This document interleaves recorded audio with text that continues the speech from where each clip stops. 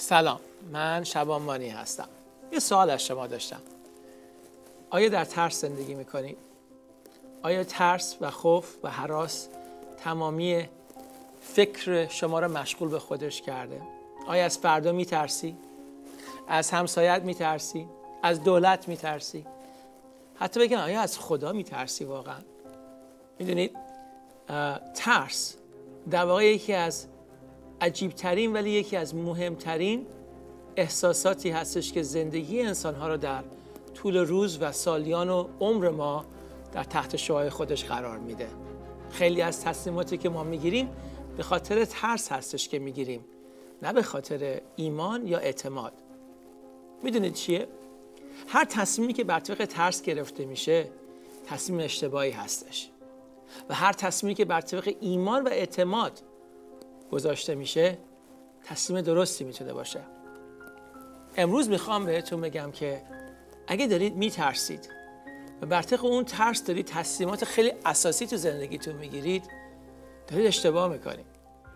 چون بهتون قول میدم که هر تصمیمی که بر مبنای ترس قرار بگیره در انتها اون جوابی که شما می‌خواید رو به شما نمیده. به ایمان میگیم. نگاه می‌کنیم. ما درباره مسیح اینجا صحبت می‌کنیم. خیلی از از که به پیام های ما نگاه می... گوش می‌کنن شاید مسلمان باشن شاید اصلا مسیحی نباشن. و اولین فکری که در دل یک شخص به وجود میاد چون در دل من به وجود اومد وقتی با مسیح آشنا شدم ترسه. و سوال کردین این ترس از کجا میاد؟ من میترسیدم. من میترسیدم که با تصمیمی که دارم می‌خوام بگیرم برای مسیح دارم گناه می‌کنم. ترسیدم که خدا منو مجازات خواهد کرد. ترسیدم که خانوادم منو ترد کنن. ترسیدم که دوستانم منو ترد بکنن. ترسیدم که بر طبق عقاید و اعتقاداتی که به من یاد داده شده بود که خدا من اصلا لعنت بکنه. من رو کنار بگذاره و دورم بندازه. ترس میترسیدم که جهنم برم. تمام این ترس واقعی بود. تمام این ترس در دل من وجود داشت. ولی وقتی که با محبت مسیح آشنا شدم و عشق مسیح و عشق خداوند رو چشیدم. متوجه شدم که جایی که عشق میاد جایی که محبت خدا ساکنه در آنجا خوف و ترس جا و مکان نداره. و اون اعتماد به نفسی بود که من احتیاج بهش داشتم که بتونم بر روی ترسایی که واقعی بود و در زندگیم واقعا احساس می‌کردم غلبه کنم و بتونم تصمیمی رو برای خداوند و برای خودم بگیرم که الان بعد از نزدیک به 28 سال زندگی منو پربرکت ساخته و خیلی تغییرات اساسی ولی خیلی خوب در زندگی من انجام داده. می‌دونم که اگه پیام نجات بخش عیسی مسیر رو تا به حال شنیدید ولی ترسیدید که تصمیمی برای ایمانتون در مسیح بذارید می‌خوام امروز با شما صحبت کنم ازتون درخواست کنم که به حرفای من چند دقیقه گوش کنید.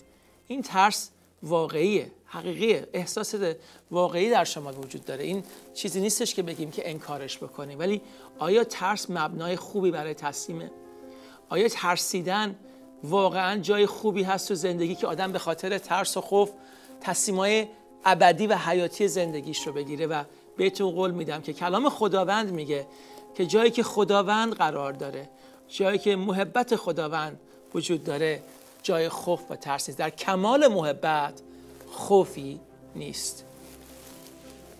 خداوند شما رو دوست داره. پدر آسمانی عاشق شماست.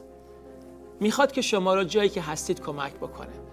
حتی اگه ترسی که دارید درباره مسائل اعتقادی و ایمانتون نباشه درباره فردا زندگی روزمره محیط زندگیتون اجتماع سیاست ها جنگ ها خبرهای جنگ مشکلات روزمره اینها باشه باز شما به محبت خدا احتیاج داری. شما احتیاج داری که بدونی خداوند برای شما برنامه های نیکو داره. ارمیا 29 11 خداوند میگه وقتی که متولد شدی من برای تو برنامه هایی که برای تو سراغ داشتم برای نیکویی تو بود نه برای بدی تو. برای بنای تو بود نه برای خرابی تو. خداوند نمی‌خواد شما رو نابود کنه. پدر نمی‌خواد شما رو از بین ببره. شما شما از بدونید اینو اعتماد داشته باشید که خدای آسمان و زمین که شما رو آفریده برای خوبی شما برای بهبودی و نیکویی زندگی شما برنامه ریخته. برای همین هستش که ما برمیگردیم میگیم بابا پدر آبا پدر. این محبت خداوند به ما هستش که ما می‌تونیم او رو از نام خدا به بابایی و پدری بنامیم. و امروز می‌خوام به شما این اعتماد به نفس رو بدم و امید رو بدم که خداوند آسمان و زمین آفریننده همه چیز پدر شما می‌خواد باشه می‌خواد بابای شما باشه و شما نباید بذارید که ترس مانع این بشه که این محبت عمیق و بی انتهای خدا رو در زندگیتون تجربه کنید و بچشید. این خوف از خدا نیست. این ترس از انسانها ریشه می‌گیره. این ترس از قدرت طلبان ریشه می‌گیره. این ترس از افرادی ریشه می‌گیره که با خداوند آشنا واقعا نیستند. این ترس از جایی ریشه می‌گیره که ما هنوز خدا رو نمی‌شناسیم. اگر خداوند رو واقعا بشناسیم محبت او رو بچشیم و درک بکنیم که نیکویی و خوبی ما رو می‌خواد برای چی ازش بترسیم؟ آیا فرزندی وقتی می‌خواد واقعا با خداوند پدرش آشنا بشه به سوی او قدم برمیداره. از گناهانش می‌خواد توبه کنه. می‌خواد که خداوندی او رو قبول بکنه. می‌خواد عیسی مسیح رو تو زندگیش وارد بکنه و توبه کنه از گناهانش. نه اینکه به گناهان بره بلکه از گناهانش توبه کنه و از خداوند بخواد که گناهان او رو بشوره. آیا واقعا خدا از او خشناک خواهد شد؟ آیا غضبناک خواهد شد؟ آیا خداوند می‌خواد اون شخص رو نابود بکنه؟ آیا این واقعا حتی منطقی هستش؟ نه عزیز من. خدا با آغوش های باز منتظر شما هستش که شما زندگیتون رو عوض بکنید. دست از تفکرات گذشته اعمال گناه آلو تمام اشتباهات گذشتهتون بردارید و به آغوش باز خداوند در آسمان برگردید و بعد اعتراف بکنید که او پدر شماست. قبول کنید که شما رو دوست داره و فرزند یگانه او عیسی مسیح رو به عنوان منجی و نجات دهنده خودتون قبول کنید و اجازه بدید که گناهان شما رو کاملا پاک بکنه پس سوال می‌کنم از شما آیا واقعا میترسی؟ از خداوند ترس داری؟ از اینکه ایمانت رو به او برگردونی و شاید مکتب و دینت رو عوض بکنی میترسی؟ نترس اعتماد کن و ایمان بیار. و مطمئن باش که خداوند زنده اونقدر شما رو دوست داره اونقدر خوبی شما رو می‌خواد که در زندگی شما برای خرابی و ویرانی نیامده بلکه برای بنا آمده. مرسی. و خدا